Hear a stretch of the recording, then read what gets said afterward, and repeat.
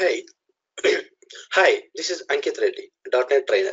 Today we'll learn about .NET interview questions on SQL Server, ASP.NET, and C Sharp.NET. Welcome to H2K Infosys again. H2K Infosys E-Verify business based in Atlanta, Georgia, United States, are providing world-class live online, on-site, and video-based IT training on real-time projects, job placement assistance, tech support.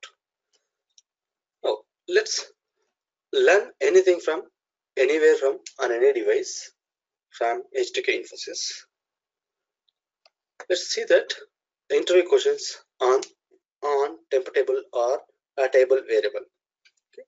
Next, what is an index?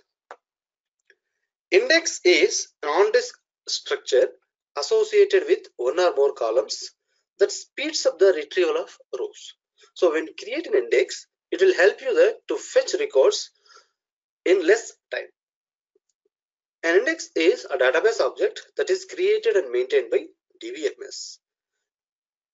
Why the fetching is fast means an index is ordered, so extremely the first search can be computed on them to find the data.